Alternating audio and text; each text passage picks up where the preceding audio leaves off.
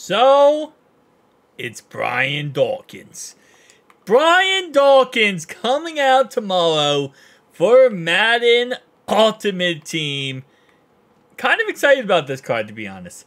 98 speed, 96 acceleration, 92 tackle, 97 playback, 90 pursuit, 98 man, 99 zone, and 99 hit power.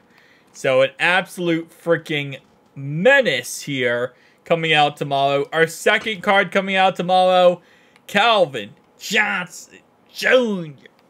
Ah, great card.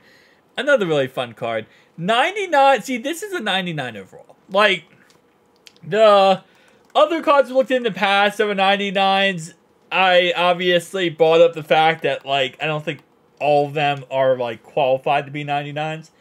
This is qualified to be a 99. 99 speed, 99 jumping, 98 catching, 99 catching traffic, 99 spec catch, 99 short route running, 98 medium route running, and 99 deep route running. That's a 99.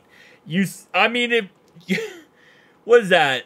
699 stats on their base card, like just the base 8 stats.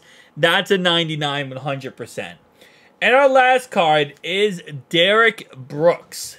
97 speed, 94 acceleration, 88 strength, 90 tackle, 96 playback, 99 block shed, 80 power move, 92 finesse move. So I think I actually got Derrick Brooks correct, I believe, and I got Calvin Johnson correct. I don't think I got Brian Dawkins correct, but I did get 2 out of 3 correct this week, so I'm actually taking that as a big fat steaming pile of W's.